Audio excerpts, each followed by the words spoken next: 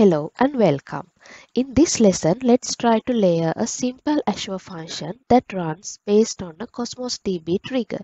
This Azure function is trying to detect high-speed vehicles on the highway.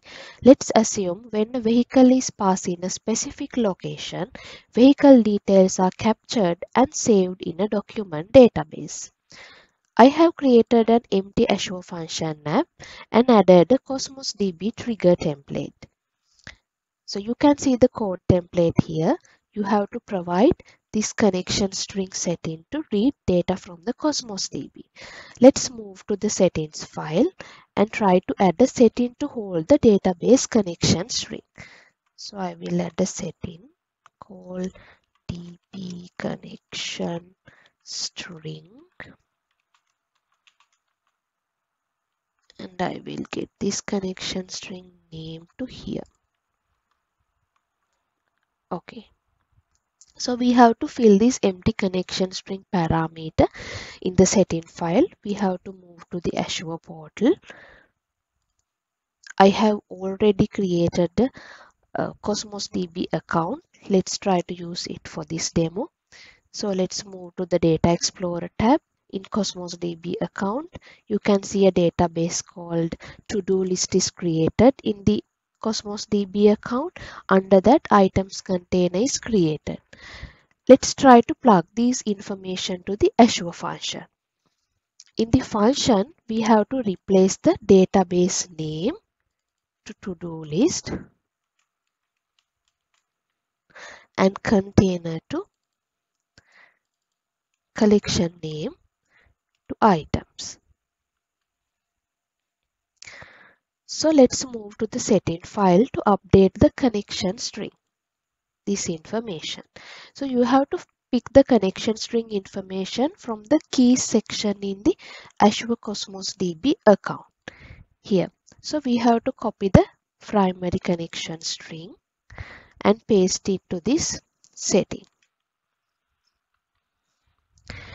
When you try to run your Azure function in the first attempt, you will get an error because the leases collection is not available in our database. This leases collection is used to uh, store this state information, the state changes of the items container. So we can create this leases collection if that's not available from here. Uh, we have to provide the attribute create leases collection if not exists to true. Okay, so let's assume a document is created when a vehicle is passed in a specific point in the highway. Try to grab this data. We want to analyze the speed of the vehicle.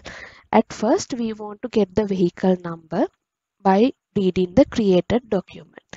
So in here, we get list of documents. So we will pick the first document and try to get the vehicle number from it. After that, let's assume we can get the speed value, vehicle past location and mobile number of the driver. So in here, let's try to get the vehicle number.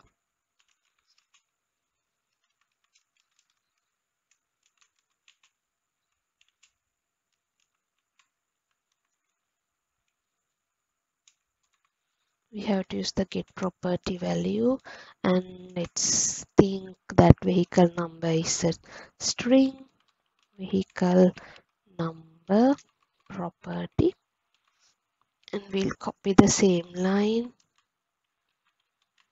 We have to get the speed. It will be a double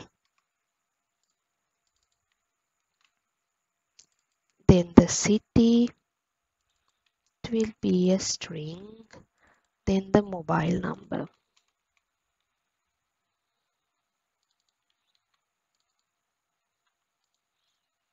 Okay.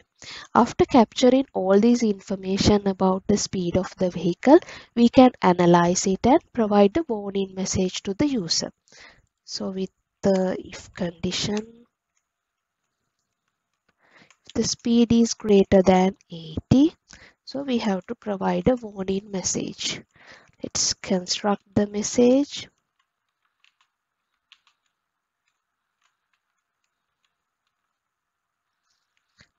We have to say high speed detected in this city this is the vehicle number.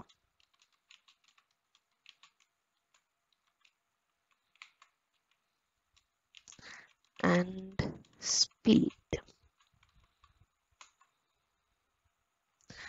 Let's log this information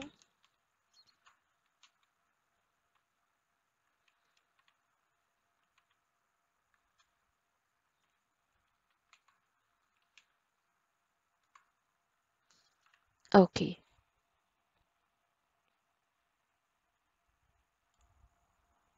Okay, we are done with the coding. So let's run the application. Let's construct a sample document in the Cosmos DB with the vehicle number and speed of the vehicle. So first let's run this and move here and try to create a new item and save okay so you can see this function is triggered and this message is displayed. So in this video we have created the cosmos db trigger function app and tested it with some real data in the database. Until the next video goodbye and take care